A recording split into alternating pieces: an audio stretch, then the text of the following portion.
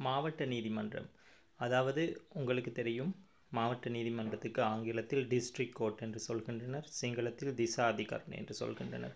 இலங்கையை பொறுத்தவரையில் மாவட்டங்கள் காணப்படுகின்றன. உதாரணமாக குர்நாகல் மாவட்டம் கம்பஹா மாவட்டம் கொழும்பு மாவட்டம் கண்டி மாவட்டம் என்று மாவட்டங்கள் காணப்படுகின்றன. எனினும் அந்த மாவட்டங்களுக்குள் ஒரு மாவட்டத்துக்கு ஒரு மாவட்ட நீதிமன்றம் அல்ல காணப்படுவது. ஒரு மாவட்டத்துக்குள் நிறைய ஜுடிஷியல் டிவிஷன்கள் காணப்படுகின்றன. அந்த ஒவ்வொரு பகுதிக்கும் மாவட்ட நீதிமன்றங்கள் காணப்படுகின்றன.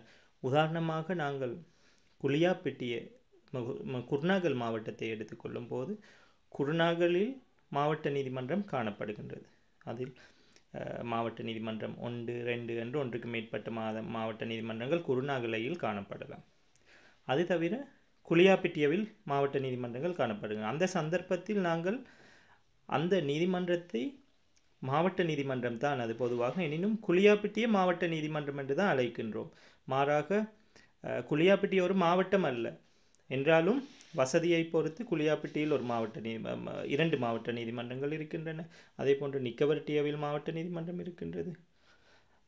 என்று அவ்வாறு அந்த மாவட்டத்துக்குள் சில சில பகுதிகளில் மாவட்ட நீதிமன்றங்கள் காணப்படுகின்றன. காணப்படும் போது அந்த பகுதியை அடிப்படையாக கொண்டே நாங்கள் மாவட்ட நீதிமன்றத்தின் பெயரை குறிப்பிடுகின்றோம். உதாரணமாக குளியாப்பிட்டியவில் இருக்கும் மாவட்ட நீதிமன்றத்தில் குளியாப்பிட்டிய மாவட்ட நீதிமன்றம் குளியாப்பிட்டிய டிஸ்ட்ரிக்ட் கோர்ட் என்று தான் சொல்கின்றோம். அந்த சந்தர்ப்பத்தில் குளியாப்பிட்டிய ஒரு மாவட்டம் என்பது அதன் கருத்தல்ல. நான் நிறைய வீடியோக்களில் அவ்வாறு பாவித்துள்ளேன்.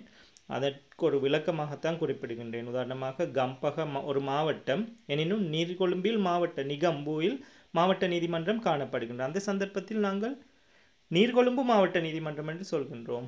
அது நீர்கொழும்பில் உள்ள மாவட்ட நீதிமன்றம். மாறாக நீர்கொழும்பு ஒரு மாவட்டம் அல்ல. நன்றி.